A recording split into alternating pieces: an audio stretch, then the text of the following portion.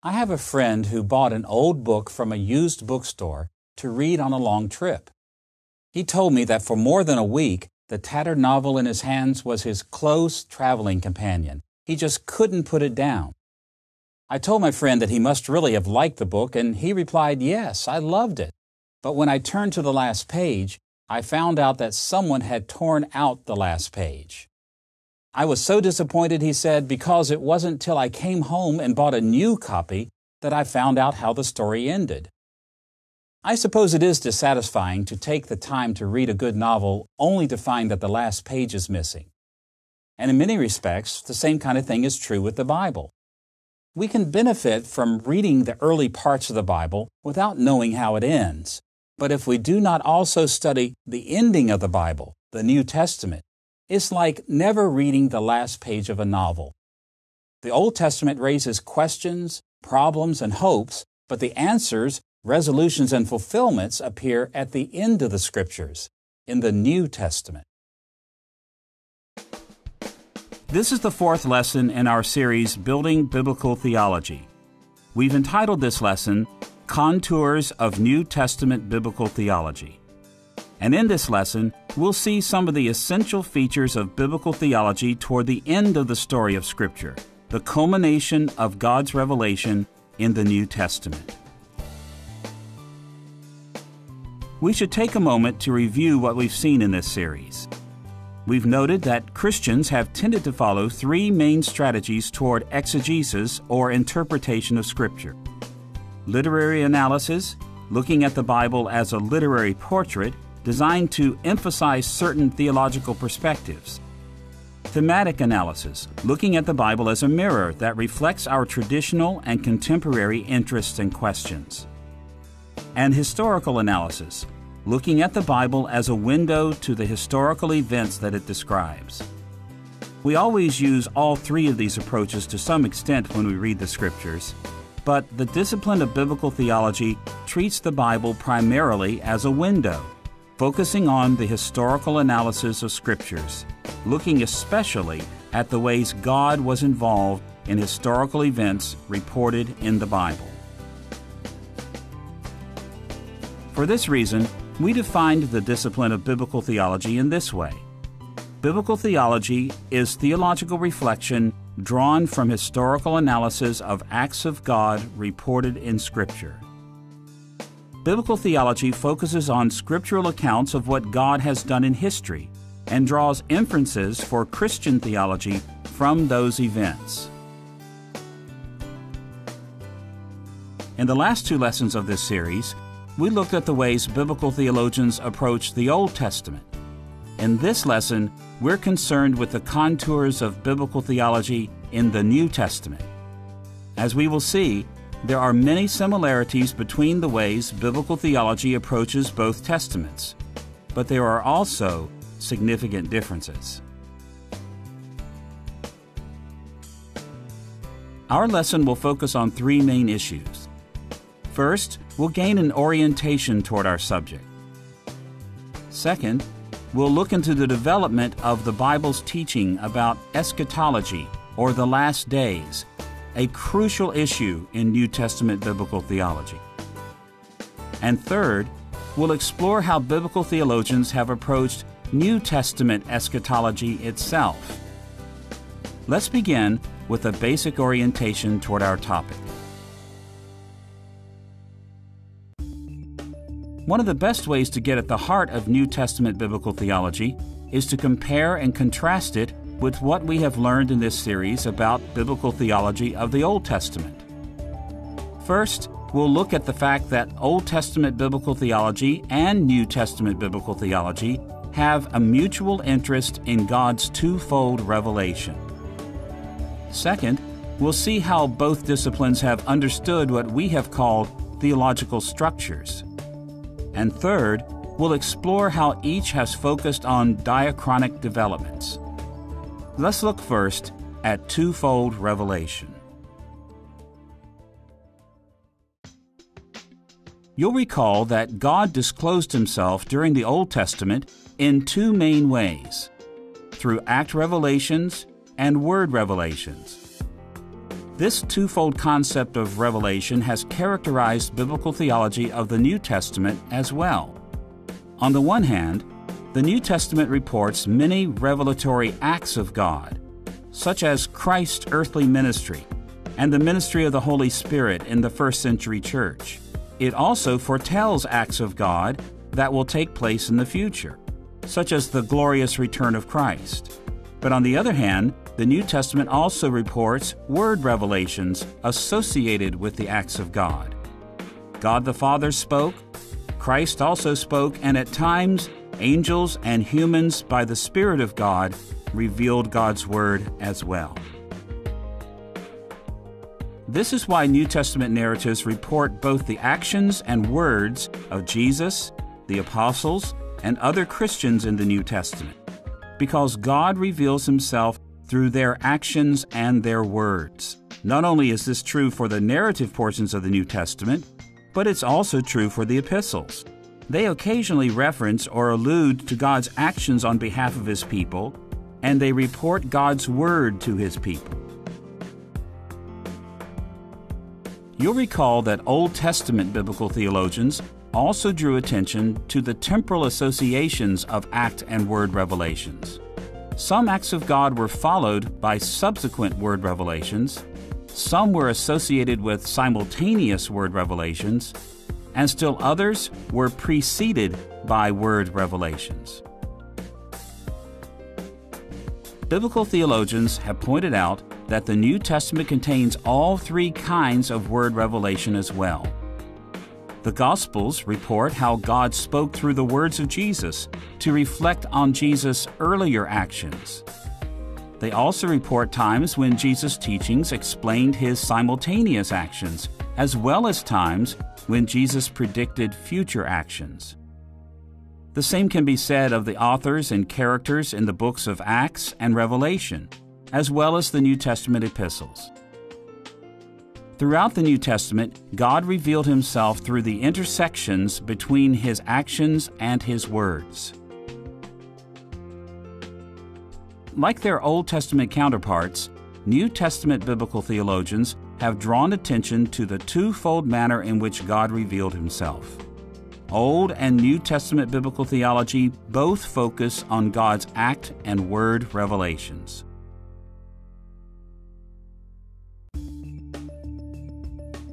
In addition to focusing on God's act and word revelations, Old Testament and New Testament biblical theology share similar ideas of theological structures. You'll recall that Old Testament biblical theologians identified theological outlooks by noting the many ways God's act and word revelations intersected with each other. They paid attention to the logical interconnections between what God did and said. These structures ranged from very basic to quite complex arrangements, and New Testament biblical theologians have noticed the same kinds of theological structures in the New Testament. Following the pattern of our earlier discussions of Old Testament theology, we'll touch on three levels of theological structures in New Testament theology. First, an example of basic level structures. Second, an example of middle level structures. And third, an example of complex level structures. Let's think first of basic level theological structures in the New Testament. Basic theological structures appear in the New Testament through relatively simple logical intersections of divine revelations. Divine words explain acts of God. Particular acts of God clarify the meanings of His words. Different act revelations also logically connect to each other, and different word revelations intersect with each other as well. When these kinds of logical structures appear on a small scale, they form what we have called basic level theological structures or perspectives. By way of illustration, in Matthew chapter 2, verses 1 through 12, Matthew reported how God's act in Jesus' birth intersected with the actions and words of the Gentile Magi. Jesus' birth was announced to the world by a star in the sky. The Magi understood that this star announced the birth of a new king, and they spent many months, perhaps as long as two years, following the star in search of the new king. And when they finally reached the child, they worshiped him. Matthew's account indicated a coherent outlook on the true theological significance of Jesus' birth. Jesus was the long awaited King of Israel, whom these Gentiles worshiped. At the same time, in Matthew chapter 2 verses 16 through 18, the gospel writer created another theological structure, noting the logical intersections of Jesus' birth with the actions and words of King Herod. The Magi told Herod when the Messiah had been born, and his advisers told him how the Old Testament predicted the Messiah would be born in Bethlehem. In an attempt to kill Jesus, Herod ordered every male infant two years old and younger in Bethlehem to be killed. Matthew then reported Herod's horrible death under God's judgment. Matthew's intersection of these acts and words created a theological structure that indicated another outlook on Jesus' birth. Jesus was the long awaited King of Israel, whom Herod sought to destroy. In Matthew's account, these two sets of theological structures formed a striking contrast with each other, contributing to a theme that appears a number of times in his book. Herod's reaction to Jesus' birth foreshadowed the fact that many in Israel would reject Jesus as their Messiah and would even seek his death. By contrast, however, the Magi's reaction to Jesus' birth foreshadowed the fact that many Gentiles would welcome the promised King of the Jews and would adore him with great devotion and joy. Having seen several basic level theological structures in the New Testament, let's look at a few examples of what we may call middle level theological structures. When we broaden our view to include multiple basic level theological structures, we often see that they form larger and more complex theological points of view. One of the most important of these moderately complex theological structures is the covenantal arrangement of New Testament theology. For example, we speak of the collected books from Matthew's Gospel to John's Revelation as the New Testament. Here, the word testament is used synonymously with covenant. We call this portion of the Bible the New Testament precisely because it is associated with the new covenant predicted by Old Testament prophets. Several Old Testament prophets predicted that after Israel's exile, God would establish a final covenant with the people of Israel. Isaiah chapter 54 verse 10 and Ezekiel chapter 34 verse 25 and chapter 37 verse 26 referred to this covenant as a covenant of peace. Jeremiah chapter 31 verse 31 refers to this same covenant as a new covenant. The middle level theological structures associated with the new covenant play a very important role in New Testament theology. You'll recall that we saw how covenants in the Old Testament organized much of Old Testament theology in terms of the dynamics of divine benevolence, human loyalty, and the consequences of blessings and curses. In much the same way, these four dynamics governed life in the New Covenant and organized the logical intersections of many larger sets of theological perspectives in the New Testament. In addition to all sorts of basic and middle level theological structures, the New Testament also presents various complex level structures.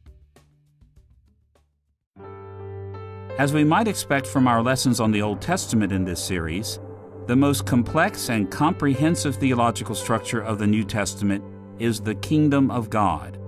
The Bible's outlook on the goal of history as the transformation of the earth from the corruption of sin into the place of God's glorious presence and reign. Let's sketch some of the contours of this highly complex theological structure in the New Testament. At the beginning of the New Testament, John the Baptist and Jesus announced that the kingdom of God was near. Jesus' preaching and teaching constantly referred to the kingdom of God.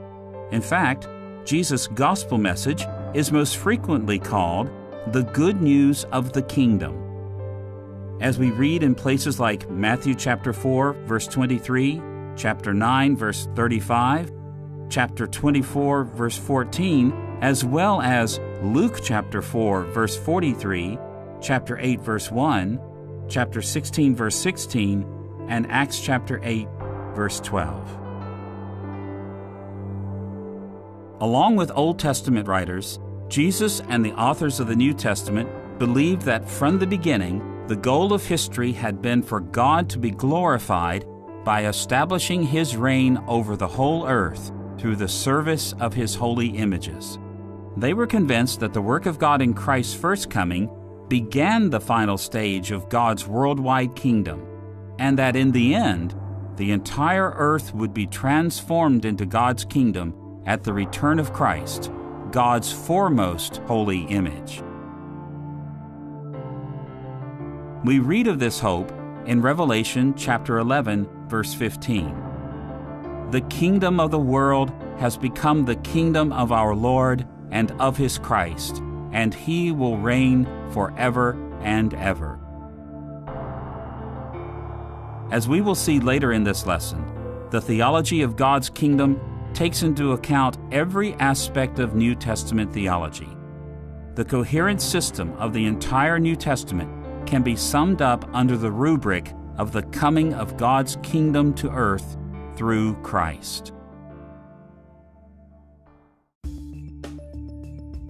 So we see that New Testament biblical theology is very similar to Old Testament biblical theology, both in its focus on act and word revelations and in its identification of theological structures.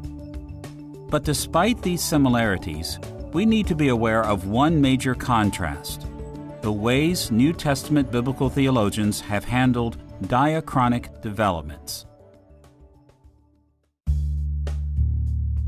We will look into this aspect of biblical theology by touching on three issues. First, the diachronic character of New Testament theology. Second, the obstacles to diachronic study of the New Testament. And third, a new direction that New Testament biblical theologians have emphasized in the place of diachronic analysis. Consider first the diachronic character of theological developments in the New Testament. In our previous lesson, we saw that much attention has been given to the ways Old Testament theology developed with the passing of time. Each time God revealed more of Himself by acting or speaking in history, to one degree or another, His new revelations reconfigured existing theological structures. The same is true for New Testament history as well. As New Testament history moved forward, theological structures underwent diachronic changes. For instance, at the close of the Old Testament period, God's Word through the prophets looked forward to the blessings of God when Israel returned from exile. When Christ appeared, these theological concerns with return from exile shifted toward understanding how God had begun to pour out these blessings in Christ. Christ's earthly ministry brought the hope of eternal forgiveness of sins in his crucifixion. He secured the Old Testament hope for resurrection to new life in his resurrection. And his ascension into heaven granted the outpouring of the Holy Spirit predicted by Old Testament prophets. Moreover, as the apostles continued Christ's work, the Old Testament hope of extending God's mercy to the Gentiles after the exile became a reality through the spread of the gospel. And of course, the New Testament predictions of Christ's glorious return pointed to the day when Old Testament hopes for an entirely new creation would come in Christ. Diachronic theological developments like these appear in the New Testament period. But New Testament history presents at least three major obstacles to extensive diachronic analysis. In the first place, by comparison with the Old Testament, the New Testament covers a very short period of history.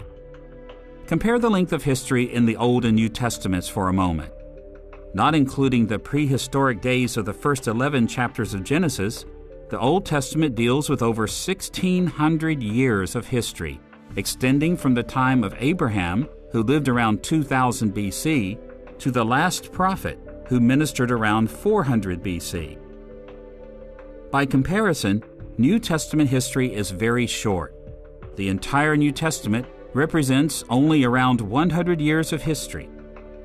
Although the New Testament introduces the most significant diachronic developments so far in history, Christ's earthly ministry, it simply does not cover enough history for there to have been major diachronic developments within that period itself. In the second place, most situations in the New Testament are very similar to each other. By contrast, the Old Testament presents a great variety of circumstances in its history. In the patriarchal period, God's people were a semi nomadic family in Canaan. Then they were slaves in Egypt. Next, they became a new nation under Moses' leadership. After that, they conquered Canaan during the period of the Judges. Their circumstances changed again when Israel's early monarchy moved the nation toward imperial splendor and again when later kings and leaders vacillated between obedience and rebellion. Their situation worsened when God sent them into exile, and it improved when He finally began to restore the kingdom through those who returned to the Promised Land from exile. As God's people went through these various circumstances, He acted and spoke to them in ways that were appropriate for their situations accommodating himself to their needs. These diachronic accommodations to Israel's circumstances produced great variety in the theological developments of the Old Testament. By comparison, however, the circumstances of God's people were fairly consistent during New Testament history. To be sure, situations did not remain precisely the same.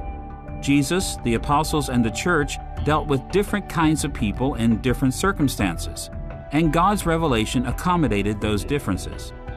Yet throughout this period of history, early Christians did not face the kinds of extreme changes that took place with God's people in the Old Testament. In the New Testament, Christians were consistently marginalized and persecuted. They didn't experience periods of tremendous wealth and horrible poverty. They didn't travel en masse from one place to another, nor did they experience periods of wide scale obedience and disobedience. As a result, God's revelations recorded in the New Testament did not accommodate as wide a variety of circumstances as his revelations in the Old Testament. And this stability has made diachronic developments less significant in New Testament theology. In the third place, unlike the Old Testament, the New Testament deals with only one divine covenant. As we have seen, covenants in the Old Testament signaled major epochal shifts in theology. The covenants with Adam, Noah, Abraham, Moses, and David were quite different from each other. And as a result, very significant theological changes occurred as history moved through each of these covenant periods. By contrast, the New Testament only represents one covenant, the New Covenant in Christ. This covenant began to unfold as New Testament history moved from Christ's first coming and into the history of the church. And this entire range of history was characterized by the dynamics of divine benevolence, human loyalty, and the consequences of blessings and curses of just one covenant. The absence of multiple covenants in the New Testament also diminished the significance of diachronic developments in the New Testament. Because diachronic changes in New Testament history were not as dramatic as changes in the Old Testament, New Testament biblical theologians have shifted their attention in a new direction. Instead of focusing on different historical periods, they have tended to treat the entire period of New Testament history as a whole. Now, as we have said, there are diachronic developments in the New Testament. There are significant changes between Jesus' earthly ministry, the history of the church, and the return of Christ in glory. Even so, it's fair to say that the New Testament tends to treat these developments as a unified whole, as part of a single picture of Christ and His work. For example, the Gospels not only tell us about Jesus' life, but also refer many times to the ongoing ministry of the church after Jesus' departure, and also to his return in glory. The book of Acts and the epistles do not simply deal with events after Jesus' ministry, but also refer back to Jesus' lifetime and look forward to his return. The book of Revelation not only deals with Jesus' future return, but also looks back to his life and the history of the church after his departure. The theological unity created by the New Testament's brief history, uniform circumstances, and single covenant makes it difficult to do extensive diachronic study so biblical theologians have shifted the majority of their attention in a new direction. Instead of dividing the history of God's New Testament act and word revelations into small segments, they have focused on the ways different New Testament authors provided different perspectives on the entire period. In fact, the New Testament provides us with many different theological assessments of the whole history of this period. Consider, for instance, that the one history of Jesus' life is described in four different ways by four gospel writers Matthew, Mark, Luke, and John. Although the gospel writers did not contradict each other, their books offer very different outlooks on the historical events of Christ's life. They represent four different theological perspectives. The same can be said of the book of Acts, the epistles of Paul, Peter, James, John, and Jude, as well as the books of Hebrews and Revelation. They all present varying theological perspectives on the whole of New Testament revelation. These portions of the New Testament do not contradict each other, but they display different theological vocabularies, categories, and emphases. For this reason, New Testament biblical theologians have taken their discipline in a direction that has proven to be very fruitful. They have compared the ways different New Testament authors offered distinctive theological understandings of the historical period stretching from Christ's life to his return. They ask questions like How did Paul interpret the mighty acts of God in New Testament history? How did Luke and John do this? What were their differences? What views did they hold in common? This direction has led New Testament biblical theologians to many important insights. Now that we have a general orientation toward the contours of New Testament biblical theology, we should turn to our second main topic in this lesson developments in eschatology, the biblical teaching about the last days. As we will see, no other subject is as central to the ways biblical theologians have approached the theology of the New Testament. But to understand why biblical theology has had this emphasis, we must grasp how the New Testament's outlooks on the last days developed out of earlier viewpoints. We will look in three directions. First, we'll set the stage by touching on traditional eschatology the ways this topic has been approached in systematic theology. Second, we'll look into Old Testament eschatology to see the developments of Old Testament views on the last days. And third, we will examine outlooks on eschatology in early New Testament times. Let's begin with a look at eschatology in traditional systematic theology. The term eschatology derives from the Greek adjective eschatos, which usually means the last, final, or end. The word appears some 52 times in the New Testament, as well as many times in the Septuagint, the ancient Greek translation of the Old Testament. In the New Testament, the term eschatos refers at least 15 times to the last days, final things, or end times. And so eschatology is a theological technical term meaning the doctrine of the last days, final things, or end times. Through the centuries, eschatology has been a major category of traditional systematic theology.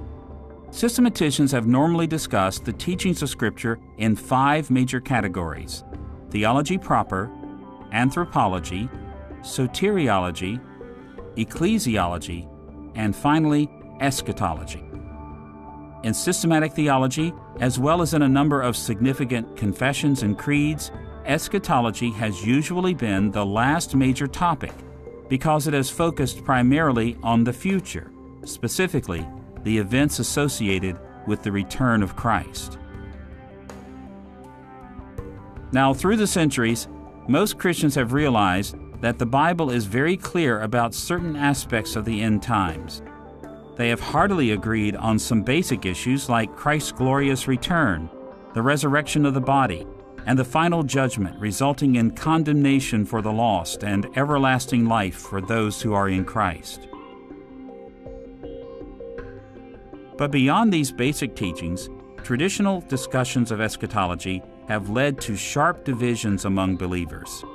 Take, for example, the issue of the millennium that centers on the interpretation of Revelation chapter 20, John's prediction of Christ's 1,000 year reign on earth. Sincere believers through the centuries have taken a variety of interpretive positions. Does this chapter refer to a literal 1,000 year reign or not? Will it be preceded by certain identifiable signs? Has it already begun? Well informed followers of Christ have answered these questions in different ways. They have followed multiple orientations toward eschatology because the biblical teaching on matters like these is not immediately clear. It is here that New Testament biblical theology holds great promise. Biblical theologians have approached eschatology in ways that cut across the grain of traditional debates. They have introduced new strategies and they have brought fresh insights to traditional understandings of eschatology.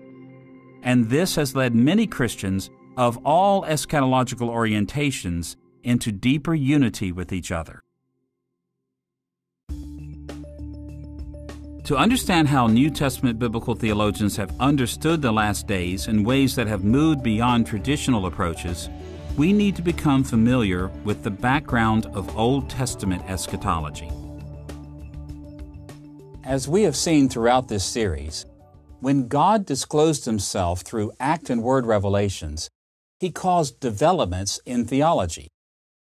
Eschatology, what the Bible teaches about last things, was not immune from such diachronic developments. Just as with other subjects, the Old Testament's teachings about the last days also developed in significant ways over time.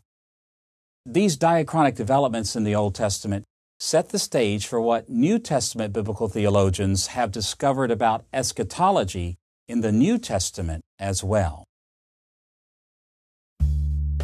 In this section, we will briefly touch on how eschatology developed alongside the major covenant administrations of the Old Testament we have studied in this series. Beginning with the covenant with Adam, we will follow chronologically through Noah, Abraham, Moses, and David. Each of these stages contributed essential elements to the eschatology of the Old Testament. At the very beginning of biblical history, God revealed two crucial elements of Old Testament eschatology. The first of these is implicit in the creation itself. Humanity was created in God's image, and we were called to work as His royal priests, filling the earth and subduing it. Through these aspects of the creation, God revealed that His goal for history was for the whole earth to be a place where His glory would dwell with His people. With Adam and Eve's sin and the curse that fell on them, God revealed the second crucial element of Old Testament eschatology. From this point forward, there would be two groups of people competing for control of the world. Genesis chapter 3 verse 15 reveals that the seed of the woman and the seed of the serpent will fight for control of the world. The seed of the woman are those who remain faithful to God, while the seed of the serpent are those who follow the ways of Satan. Until the end of time, these two groups will war for control of the world, but God promised that victory will ultimately belong to Himself and to the faithful seed of the woman. Having seen the two elements introduced during the time of Adam, let's turn our attention to Noah's covenant. Following the worldwide flood in Genesis chapter 7, God made a covenant with Noah.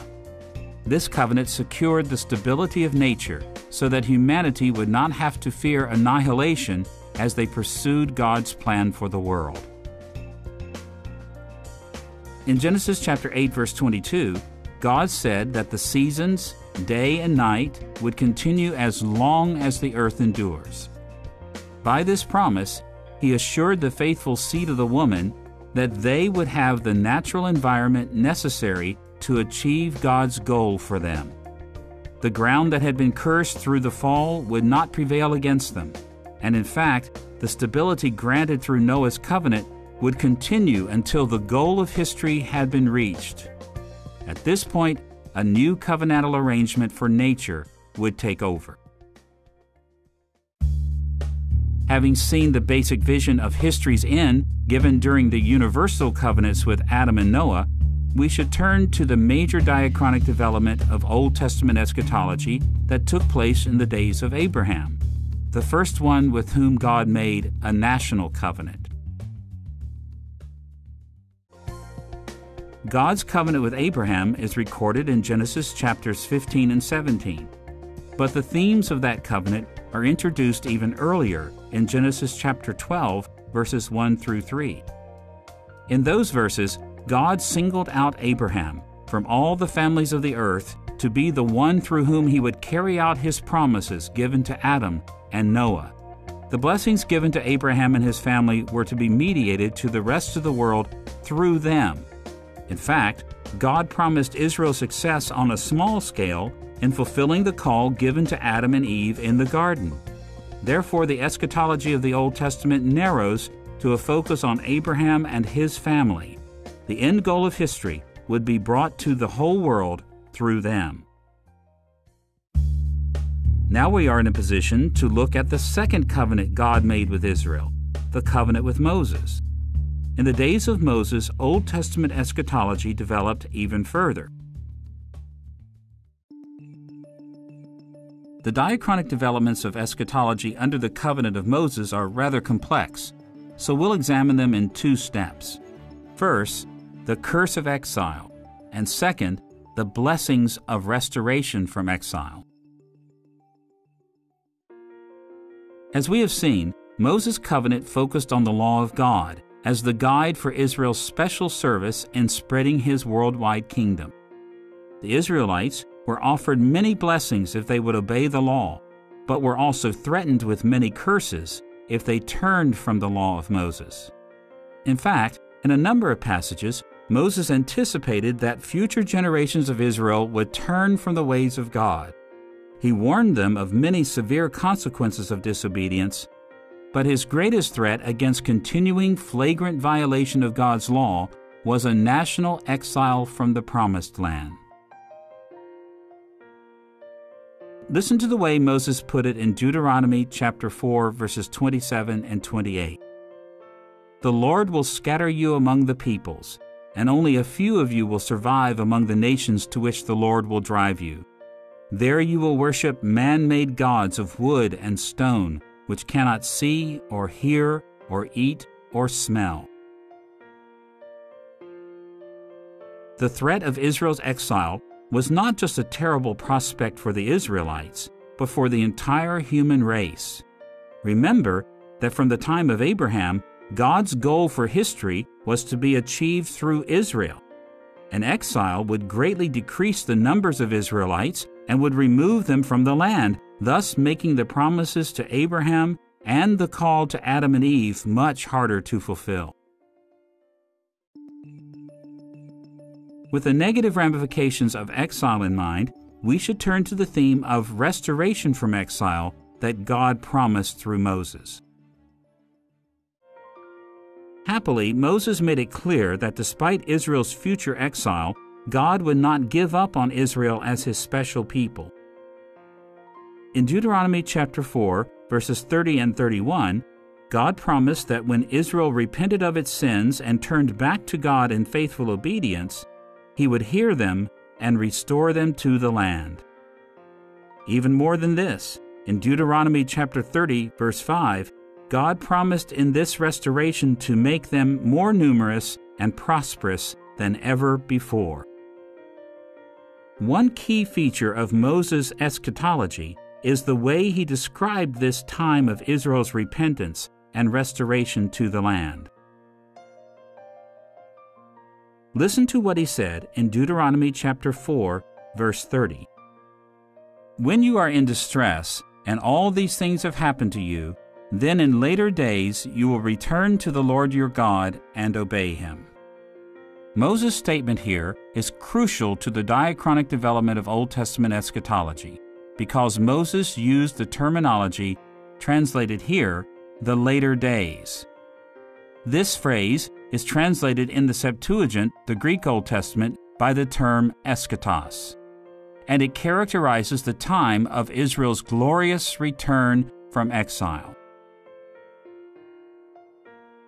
Moses' choice of words here became the basis upon which Old Testament prophets and New Testament authors described the last stage of world history as the last days, the latter days, or the eschaton.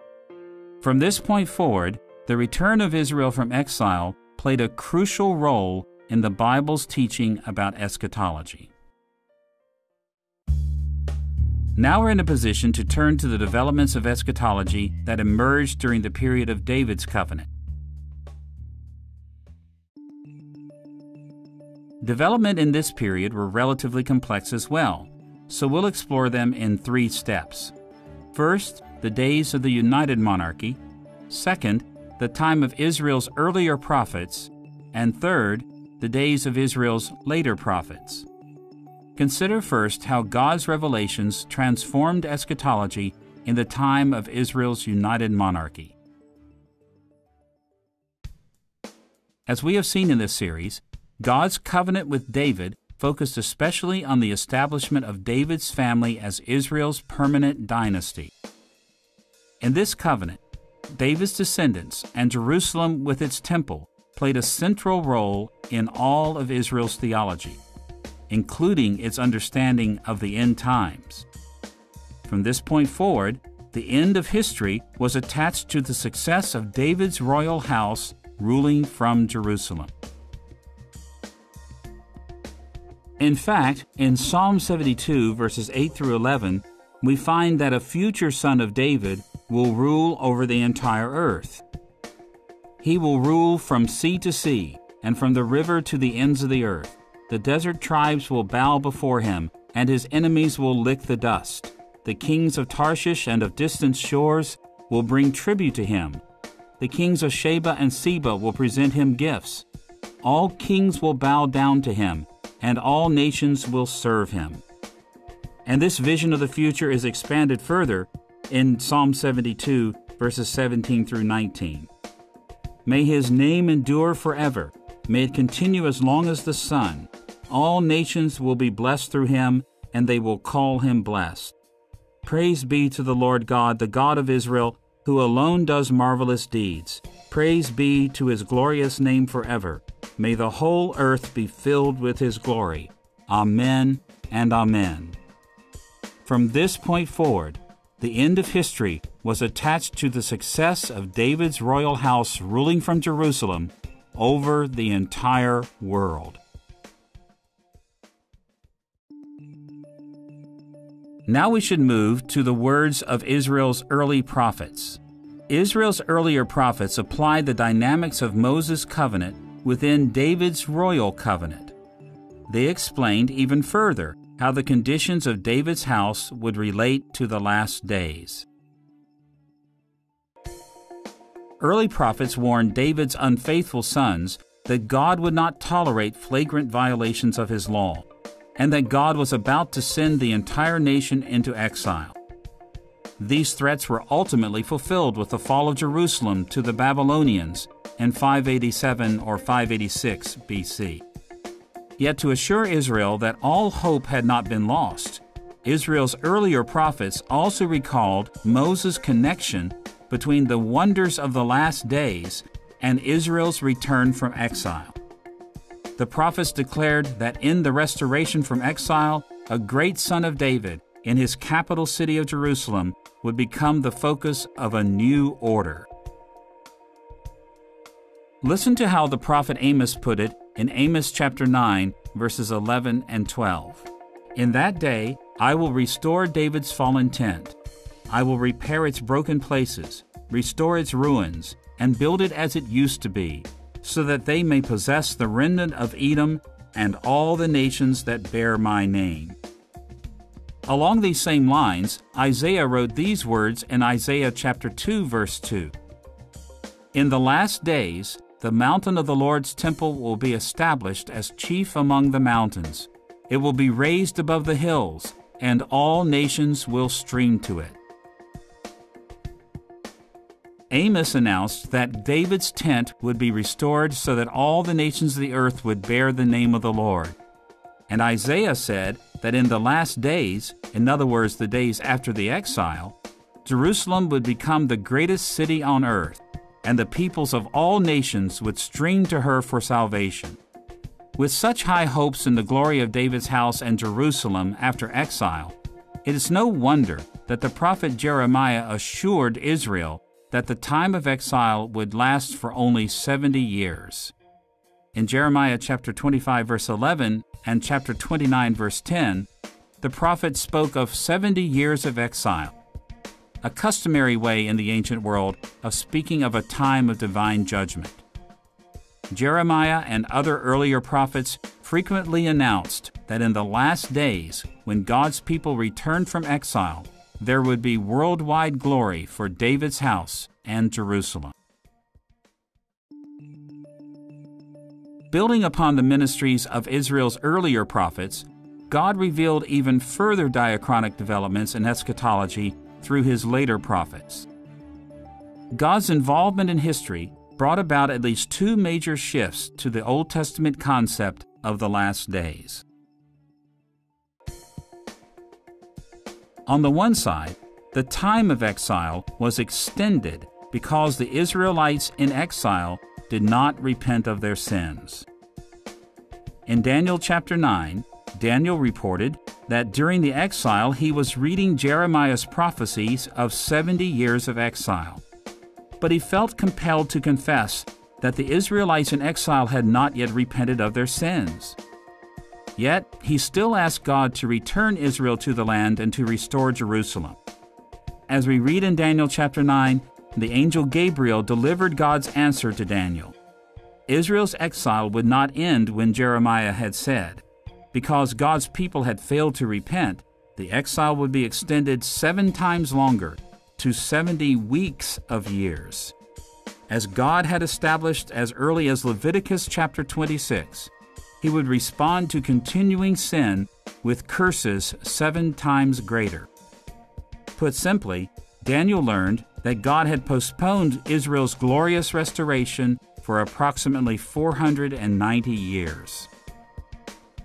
On the other side, later prophets also revealed that God showed great mercy to his people by giving them the opportunity to shorten their exile. In 539 BC, God fulfilled his word through Jeremiah in an unexpected way. He caused the conquering Persian Emperor Cyrus to release Israel to rebuild the temple of God in Jerusalem. At this time, a small number of Israelites returned to the Promised Land under the leadership of Zerubbabel, a descendant of David. The prophets Haggai and Zechariah, as well as the author of Chronicles, encouraged this small group of returnees to move forward in the blessings of God by rebuilding Jerusalem. But sadly, by the time of Ezra and Nehemiah, the restored community had flagrantly disregarded God's law once again.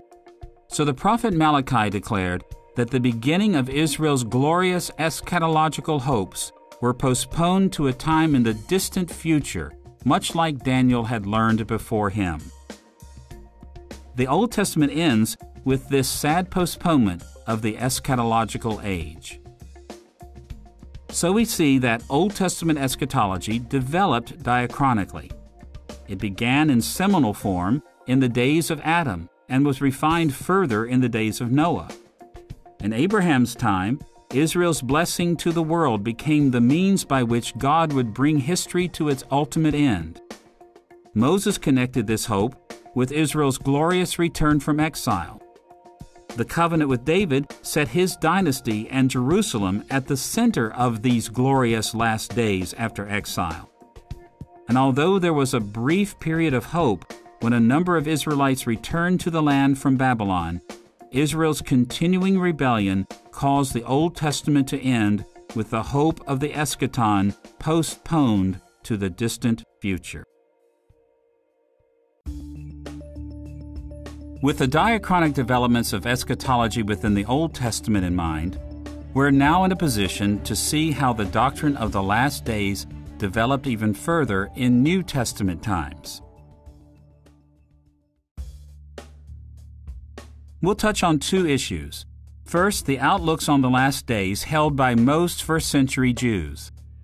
And second, the dramatic revision of eschatology in the ministries of John the Baptist and Jesus. The vast majority of Jews in Palestine in the first century held to views of the last days that resembled those of the Old Testament. As the prophet Daniel had predicted, Israel had suffered under the tyranny of Gentiles for centuries. The Babylonians, the Medes and the Persians, the Greeks, and finally the Romans extended Israel's exile for hundreds of years. Throughout these centuries, faithful Jews longed to see the fulfillment of Old Testament hopes of the restoration and glory for Israel in the last days. Many rabbis expressed this hope in a twofold view of history. On the one hand, they refer to their current circumstances as this age. This age extended through the ups and downs of Israel's history to the low point of Jerusalem's destruction and Israel's lengthy exile. The apparent victory of evil over good caused them to characterize this age in largely negative terms. It was a time of failure, sorrow, and death. On the other hand, many rabbis also spoke of a second period of history, the time of future glory for Israel. They called this future period the age to come. This time in history would be a never ending age of Israel's blessing and triumph over evil. At that time, God would gather all of his exiled people, judge the unfaithful in Israel, judge the wicked among the nations, glorify Jerusalem and her king, and spread the blessings of Abraham to the ends of the earth. During the decades prior to and during Jesus' lifetime, there were many religious factions among the Jews in Palestine. These factions held different views on how the transition from this age to the age to come would take place. Apocalyptic sects believed that the eschaton would come through an abrupt, catastrophic divine intervention. Other groups, often called zealots, believed that the age to come would arise as Jews rose up militarily against their Roman rulers and saw God's support for their efforts. Parties called nomists, like the Pharisees and Sadducees, held that the last days would come only when Israel proved to be faithful to the law of Moses. Although there was much disagreement over the precise way this age would transition into the age to come, in one way or another, most Jews believed that it would take place with the appearance of the Messiah, the great Son of David promised in the Old Testament. The Messiah would bring about the decisive turning point in world history, the final transition from a world of darkness to light, a world of defeat to victory, a world of evil to righteousness, a world of death to life.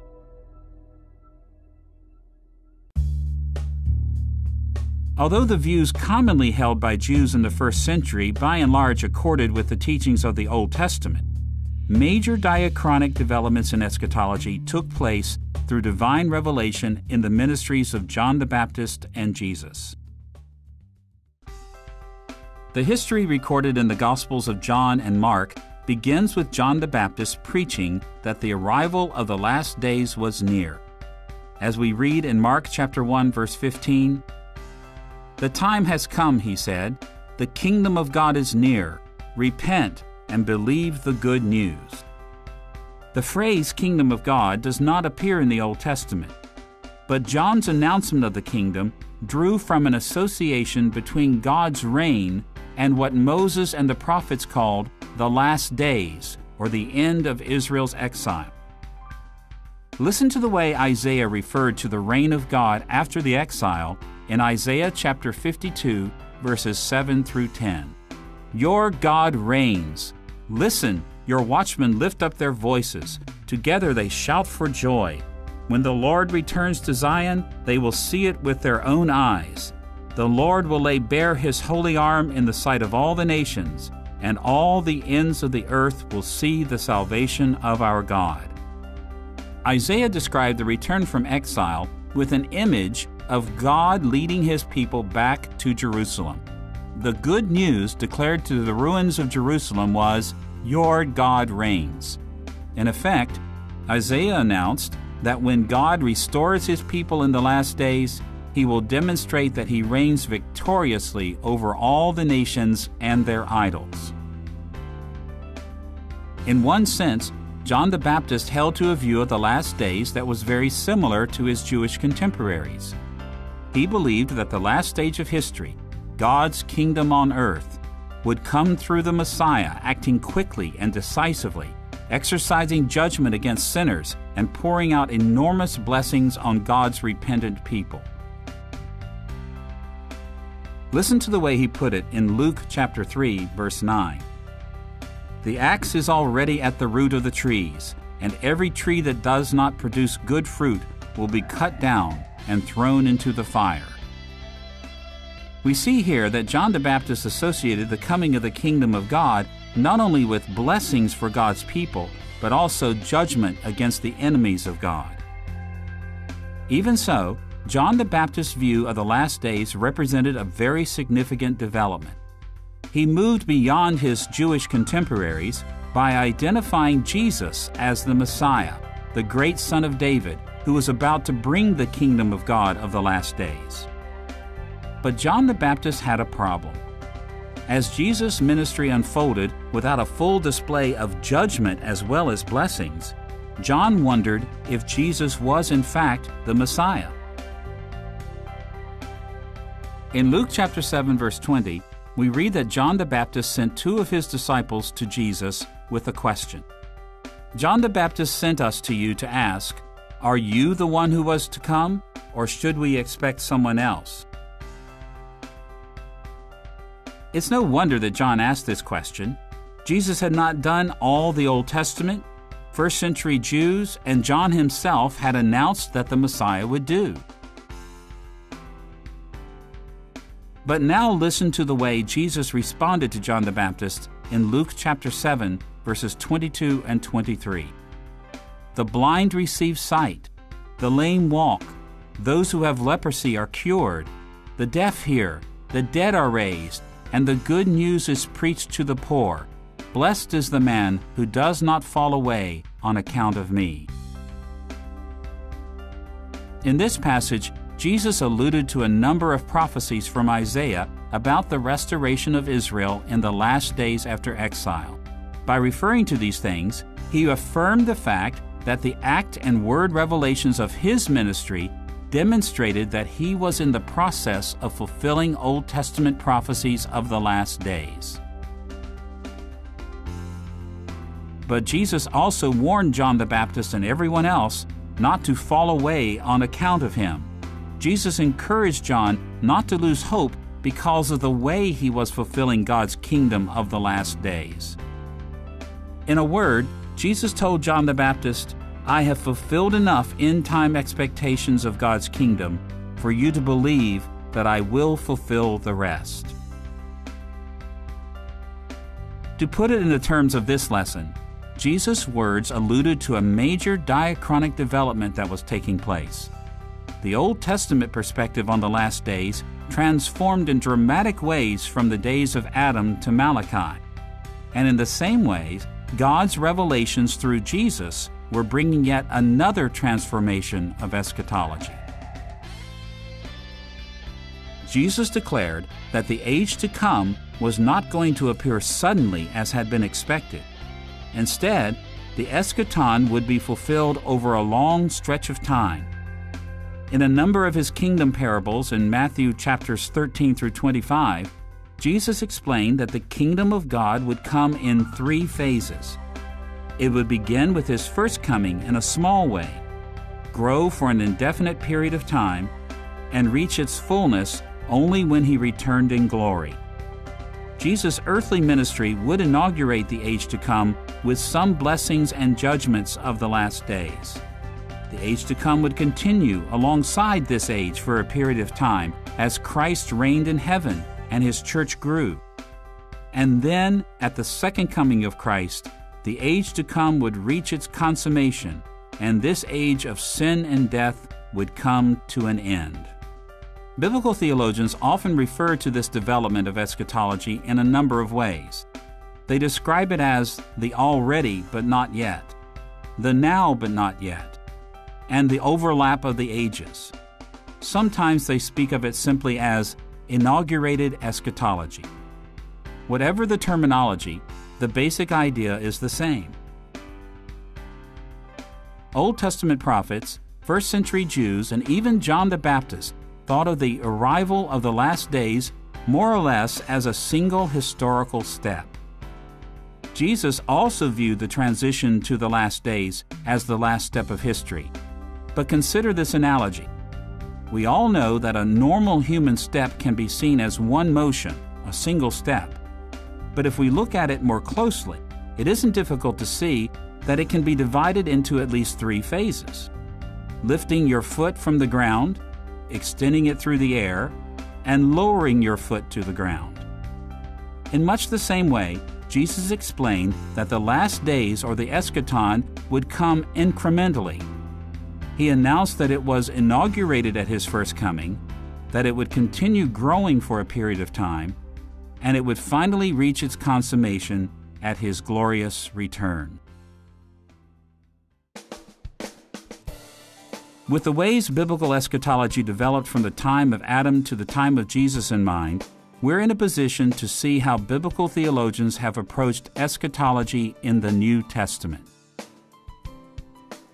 As modern followers of Christ, we entered the Christian faith with a modern cultural background. We all came to Christ with views of life that are very different from the backgrounds of New Testament writers. And because of these differences, we often have to work very hard to grasp the mindset, the worldview that governed the ways New Testament authors conceived of their faith. This is one of the great advantages of biblical theology. It has brought to light some of the basic outlooks to which New Testament authors referred over and over as they expressed their Christian faith. To grasp how biblical theology has approached these matters, we'll look at three issues. First, we'll touch on the importance of eschatology in the New Testament. Second, we'll explore the New Testament concept of Christ or Christology as the fulfillment of the eschaton. And third, we'll see how New Testament soteriology, the doctrine of salvation, was shaped by eschatology. Let's look first at the importance of eschatology. Although it may sound like an overstatement at first, Jesus' three phase eschatology was so prominent in the hearts of early Christians that we find it either explicitly or implicitly on every page of the New Testament. Of course, we know the New Testament touches on many other theoretical and practical subjects, but biblical theologians have demonstrated that in one way or another, every New Testament teaching was shaped by Jesus' three phase view of the last days. For generations, the vast majority of Jews in Palestine had yearned for the Messiah to usher in the last days, the age of victory, salvation, and eternal life. With the probable exception of Luke, every New Testament writer was Jewish, and each one of them, including Luke, had deeply engaged Jewish theology. As a result, the Jewish theological concern with the messianic last days contributed in significant ways to the basic theological framework of New Testament writers. Eschatology was especially important for the New Testament because Jesus' teaching about the last days represented one of the most decisive ways in which Christians had broken with first century Judaism. Jewish religious leaders and the general Jewish population raged against Christianity precisely because of the Christian outlook on the messianic last days. Christians believed that the Messiah had already come, but in a way that was unexpected. He had suffered and died at the hands of Jews and Gentiles. He had been resurrected and had ascended into heaven where he ruled over all, and he would return one day to judge all of humanity, including unbelievers within Israel. Such a messianic scenario was utterly contrary to what most Jews believed in that day. And for these reasons, New Testament authors were deeply preoccupied with Jesus' three phase eschatology and this preoccupation is reflected in everything they wrote. One simple way to see how pervasive eschatology was to New Testament authors is to notice that they spoke of the entire New Testament period as the last days. First, New Testament authors called the days of Jesus and his apostles the last days, or eschaton as we can see in Hebrews chapter 1, verses 1 and 2. In the past, God spoke to our forefathers through the prophets at many times and in various ways. But in these last days, He has spoken to us by His Son, whom He appointed heir of all things, and through whom He made the universe. Here, the author of Hebrews referred to the time of his readers as the last days. In doing so, he did not mean to point to some future time right before Jesus returns, but to the fact that through Jesus, God had spoken finally and definitively. With Jesus' inauguration of the kingdom, the promised last days of the Old Testament had come to the earth.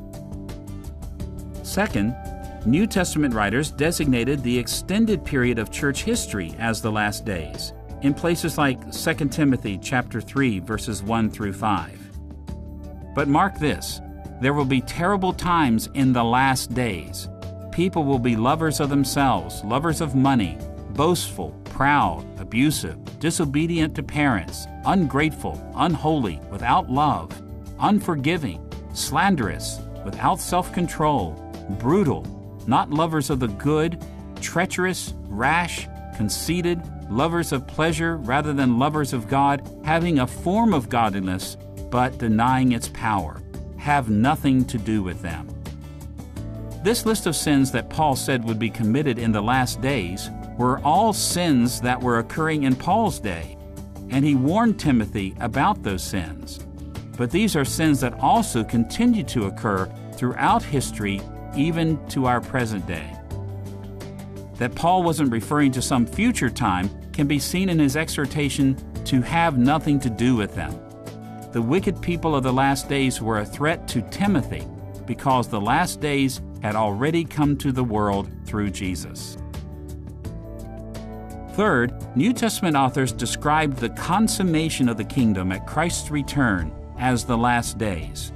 We can see this in John chapter 6, verse 39. This is the will of him who sent me that I shall lose none of all that he has given me, but raise them up at the last day. Here, Jesus taught his disciples about his relationship to the Father. His reference to the last day points forward to the ultimate final day when he returns in glory, when the dead will rise, and God will judge the world. As these and other passages demonstrate, New Testament writers believed that all revelations from God from the time of Jesus' earthly ministry until his return in glory took place in the last days. Their teachings could only be understood and followed correctly within the framework of Jesus' three phase eschatology. Now we're in a position to see how New Testament Christology, or the doctrine of Christ, presents Jesus as the fulfillment of Israel's eschatological hopes. We will look at this topic in two steps. First, we'll touch on the ways systematic theology has dealt with the topic of Christology, and second, we'll see how biblical theologians have understood this subject. Let's look first at Christology in systematic theology. In traditional systematic theology, Christology has concentrated on themes that were of critical concern at certain periods in church history. For example, systematicians focused on issues like the relation of Christ to the other persons of the Trinity, the hypostatic union of Christ's two natures in his one person, the states of Christ's humiliation and exaltation, the nature of his atonement, and the three offices of Christ as prophet, priest, and king. Without a doubt, the New Testament addresses these and similar matters, and they continue to be important topics for the church even today. But biblical theologians have taken Christology in a different direction. They have stressed that New Testament authors primarily presented Christ as the one in whom every facet of Old Testament hope found fulfillment.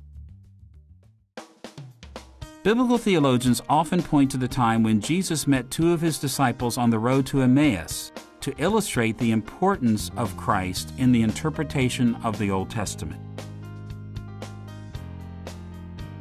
In Luke chapter 24, verses 26 and 27, we read these words Did not the Christ have to suffer these things and then enter his glory? And beginning with Moses and all the prophets, Jesus explained to them what was said in all the scriptures concerning himself. Notice here that Jesus explained how the Old Testament spoke of him. He referred his disciples to Moses and all the prophets, to the entire Old Testament, and showed them what was said in all the scriptures concerning himself. Time and again, biblical theology has pointed out that New Testament authors followed Jesus' example here by treating himself as the fulfillment of Old Testament eschatology. The New Testament points out many ways in which Jesus fulfilled prophecies about the last days, but the fulfillment of prophecy does not adequately express the New Testament outlook on Christ. Instead, we have to understand that New Testament eschatological hope was concentrated in the person of Jesus. Jesus was the centerpiece of New Testament eschatology. Recall for a moment our discussion of Old Testament typology in the previous lesson. At every stage of Old Testament history, key persons, institutions, and events appeared in ways that indicated the goals toward which God was moving history. They were preliminary displays, foreshadows, or types of what would be fully realized at the end of history. For this reason, because Jesus was the Christ, the Messiah through whom God brought the eschaton, New Testament authors spoke of Christ as the fulfillment of all Old Testament types. To mention just a few examples, at the earliest stages of history, God moved the world toward its final goal by calling Adam to rule over the world as the royal priest of God's kingdom. Jesus completes humanity's rule over the world in the last days as the great king and high priest. God ordained Noah to rescue humanity from God's judgment to further God's kingdom purposes. Jesus does this once and for all in the eschaton through his death and resurrection. God promised Abraham that his descendants would bring God's blessings to all the families of the earth. Jesus finally brings this about in the last days through the spread of the gospel. God raised up Moses to give Israel the revelation of his law. Jesus reveals God's final word in the eschaton. God told David that his dynasty would conquer God's enemies and rule over the world on God's behalf. Jesus makes this happen in the last days. These are but a few examples that illustrate how New Testament writers saw Jesus as the fulfillment of Old Testament hopes. Now we must remember that Jesus and the New Testament explain that his fulfillment of Old Testament expectations would take place in three phases the inauguration, continuation, and consummation of the kingdom. Because of this, New Testament writers often drew attention to different ways in which Jesus fulfills Old Testament hopes. For example, Jesus began to fulfill Adam's call to rule first in his earthly ministry. He continues to extend his reign over the world now, and he will rule over every inch of creation, making all things new when he returns in glory. Jesus fulfilled Noah's rescue of humanity for service to God in his earthly ministry as he called men and women to repent and ordered his disciples to baptize them. He continues to do this as the church calls people around the world to salvation and baptism and Jesus will ultimately deliver from divine judgment when he returns for the masses of humanity who have faithfully followed him. Jesus also fulfilled Abraham's call to be a blessing to the entire world. First, he and his disciples reached out to Gentiles. Second, he continues to do this now by bringing the blessings of salvation to people all over the world. And third, he will complete this aspect of God's kingdom when he fills the new creation with redeemed people from every tribe and nation. Jesus also fulfilled the guidance of Moses' law as he and his disciples affirmed God's law and brought new revelation.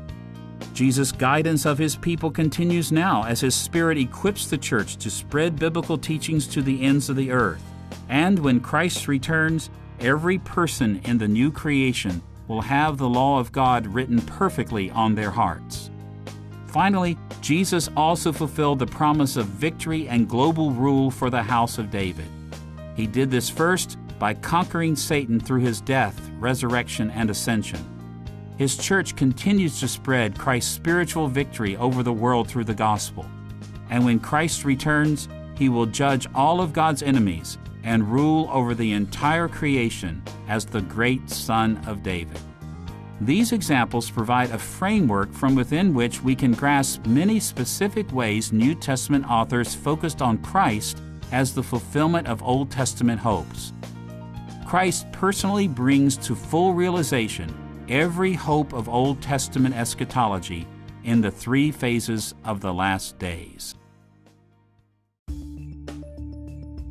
Biblical theologians have often understood the doctrine of salvation or soteriology in new ways.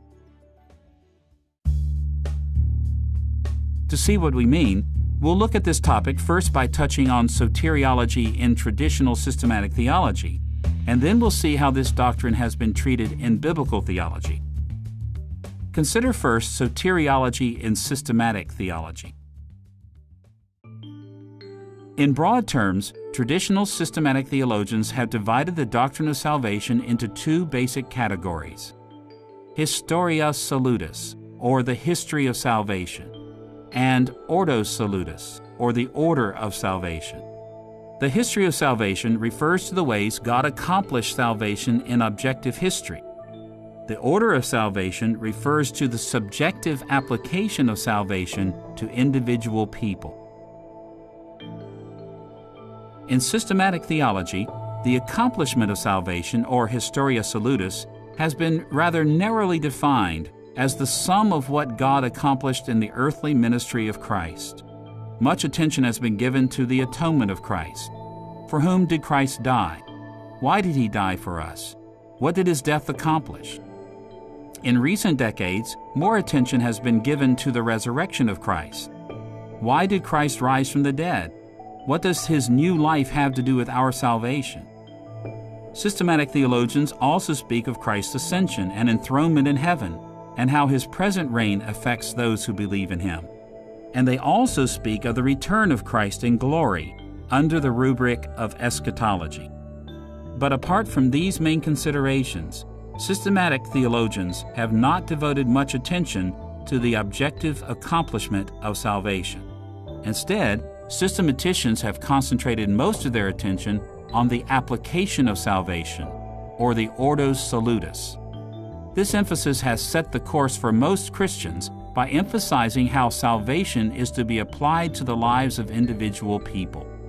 Even today, when we use terms like regeneration, repentance, faith, justification, sanctification, and glorification, we usually have in mind specific aspects of the application of salvation to individuals. In the theological vocabulary of nearly every branch of the church, regeneration refers to the new birth that people experience as salvation is initially applied to them.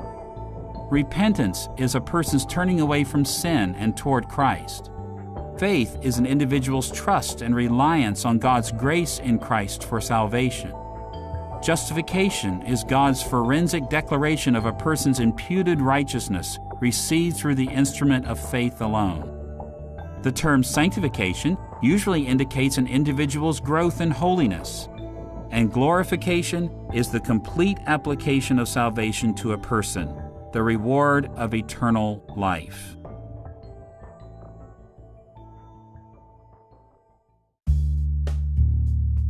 Many of us are familiar with the ways these and other aspects of soteriology are discussed in systematic theology. But New Testament biblical theology has looked at the doctrine of salvation from a different vantage point perspectives that are derived from Jesus' three phase eschatology. By contrast with systematic theologians, biblical theologians have focused much more on the accomplishment of salvation the Historia Salutis. They have shown that in the New Testament, the application of salvation to individuals is always understood within the framework of the three phases of Jesus' eschatology the historical accomplishment of salvation in Him. Imagine New Testament soteriology as the set on a theatrical stage. From the outlook of biblical theology, the accomplishment of salvation in Christ forms the backdrop of the stage. This backdrop has three large panels representing the inauguration, continuation, and consummation of the last days. The application of salvation to an individual life is like the actions of a character standing near the foreground of the stage. New Testament authors described what happens when salvation comes to an individual as if they were looking at the stage from three different seats in the audience. They view a person's experience of salvation against the three background panels representing the inauguration, continuation, and consummation of the last days. From the first vantage point, a follower of Christ rests his or her salvation on being joined to what Christ accomplished during the inauguration of the last days. From the second vantage point, a follower of Christ experiences salvation through his or her lifetime by being joined to what Christ is accomplishing during the continuation of the last days. And from the third vantage point, followers of Christ will experience salvation when they are joined to what Christ will accomplish at the consummation of the last days. For the most part, it's easy to see that this is the way New Testament authors related the accomplishment of salvation to the application of salvation. For example, the Apostle Paul used the term salvation in three basic ways. Sometimes he spoke of it from the first vantage point, as something that had already occurred. For instance, we read these words in Romans chapter 8 verse 24. For in this hope we were saved. Here Paul spoke of our past experience of being regenerated by the Holy Spirit and set on a new course of life because we were joined to what Christ accomplished 2,000 years ago. At other times, Paul spoke of salvation from the second vantage point as a current, ongoing reality in the experience of believers. As he put it in 1 Corinthians chapter 1 verse 18, For the message of the cross is foolishness to those who are perishing, but to us who are being saved, it is the power of God. Here, Paul spoke of our daily, ongoing salvation in Christ, which is certainly based on what Christ did in the inauguration of the kingdom, but it's also closely tied to our union with Him in His heavenly ministry now. At other times, Paul spoke of salvation from the third vantage point, as something that was still future, something that was still to occur at Christ's return. As he said in Romans chapter 5 verse 9, since we have now been justified by his blood, how much more shall we be saved from God's wrath through him? Consider just one striking example. The last facet of the Ordo Salutis is commonly known as glorification. We normally use this term as a reference to what happens to individuals when Christ returns. But biblical theologians have noted that we truncate the concept of glorification in the New Testament if we limit it simply to what happens at the consummation of Christ's return. For example, Paul wrote of glorification in terms of all three phases of the last days. In the first place, he spoke of it as something that has already happened to believers. Listen to what he wrote in Romans chapter 8, verses 29 and 30. For those God foreknew, he also predestined to be conformed to the likeness of his Son, that he might be the firstborn among many brothers. And those he predestined, he also called. And those he called, he also justified. And those he justified, he also glorified. The verb translated glorified is edoxasen, and this form of the verb indicates an event that had already taken place. Because individuals in Christ are joined to Christ's glorification in his resurrection and ascension, they have already received with him a measure of glorification believers have already been glorified in Christ.